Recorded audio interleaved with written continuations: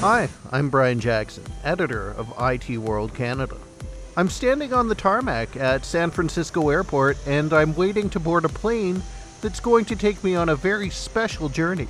This flight isn't about going to any particular destination, but creating a totally unique experience zero gravity. That's right, total weightlessness. Joining me on this flight, facilitated by Space Adventure Zone Zero Gravity Corporation, are the top executives and an engineering team from HP. You see, these guys have worked for months to develop a printer that will work in zero gravity. Now that printer is about to go to the International Space Station, and they want to celebrate by experiencing zero gravity for themselves. I was lucky enough to go along for the ride. A flight with zero G is a wild experience. First, you're pressed down into the floor at twice the force of gravity as the plane climbs up into the sky on a 45 degree angle. Then the plane reaches the apex of its arc, and all of a sudden, zero G. You start tumbling around the cabin like a helium balloon. This is called a parabolic flight path. With every parabola, zero gravity conditions are created for about 20 to 30 seconds. The Zero G flight crew organizes participants for all sorts of stunts too. Here in this one, you can see me in the back row middle. I'm the guy wearing a GoPro camera, and linked with my left arm is Ron Stevens. He's the R&D manager for HP's Specialty Printing Systems Group. This isn't his first time on a zero gravity flight. Last fall, he was on board a different jet doing repeated nosedives and putting his HP Envy printer to the test. So one of the challenges in working through the parabolas is all of the work that we had to do had to occur in the in the high G pull and then the, the printer did its printing and testing through the zero gravity. And so one of the big challenges for us was just being able to control your movements through two and a half Gs.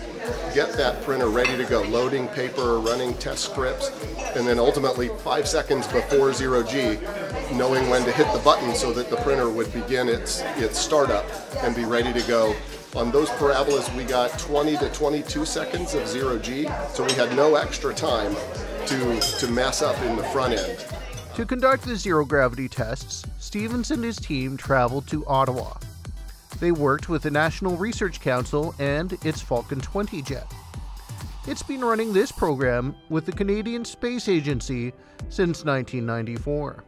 The Falcon 20 aircraft can fly an incredibly accurate parabola. Its smaller size and firmness of its wings means that its pilots can fly with more accuracy than even a stunt pilot. The result is a pristine zero gravity environment, perfect for HP's tests. We were looking for true zero G. On the space station, there really aren't any external forces, and so they, they do call it micro G, but the amount of G's that they see in the space station is essentially negligible.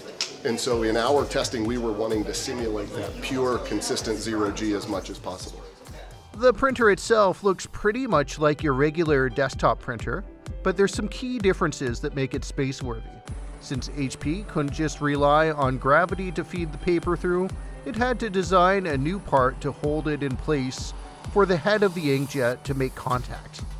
And instead of just letting the printed pages fall into a tray, a special tongue holds the paper in place. And HP used a new material to craft many of the parts on this printer. Part nylon, part glass beads, this material has the perfect balance of strength and flexibility. Plus, HP was able to use the 3D printed parts to custom design small details it allows us to, to make features like this. And again, when astronauts are, are flying past this literally, this has to be designed in a way that there's nothing gonna gonna snag, break the printer, scrape or, or, cut an astronaut. Um, we can't have any foreign objects that come off. And 3D printing really allowed us the design flexibility to get a very creative, unique design in place and know that it's ultimately going to be very reliable, very durable for the astronauts. The first three HP Envy printers are scheduled to lift off with the Falcon 9 rocket on April 2. I just hope that when the astronauts on board the International Space Station go to use them, they're having as much fun as I did, floating free in zero G. For IT World Canada, I'm Brian Jackson.